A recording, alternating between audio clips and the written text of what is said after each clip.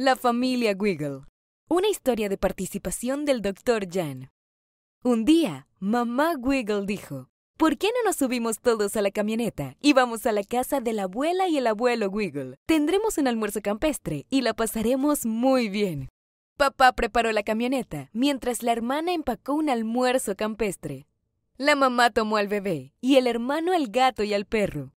Pronto, la madre, el padre y el bebé estaban en la parte delantera de la camioneta y la hermana, el hermano, el gato y el perro estaban en la parte trasera de la camioneta y se dirigían a la casa de la abuela y el abuelo Wiggle. ¡Oh, no! dijo la hermana. Olvidé el almuerzo campestre. Entonces, mamá le dijo a papá que detuviera la camioneta. Dieron la vuelta y regresaron a su casa para conseguir el almuerzo campestre. La hermana volvió corriendo a la casa, mientras los demás se sentaban en la camioneta. En ese momento, el perro comenzó a ladrar y asustó al gato que saltó de la camioneta. El hermano tuvo que perseguir al gato y volverlo a traer a la camioneta. El bebé se molestó tanto, solo lloró y lloró.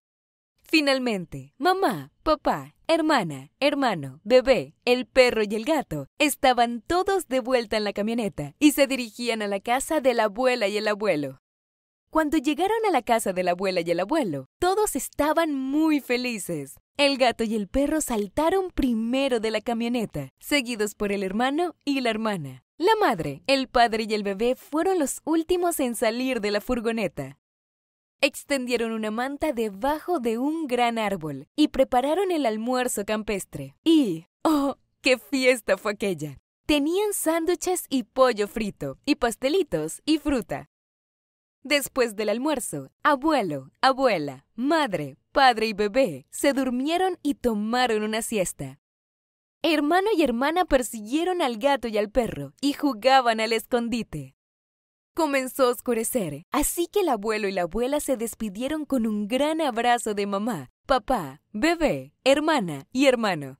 Todos subieron a la camioneta con el gato y el perro y partieron hacia su casa. ¡Qué día tan especial había sido!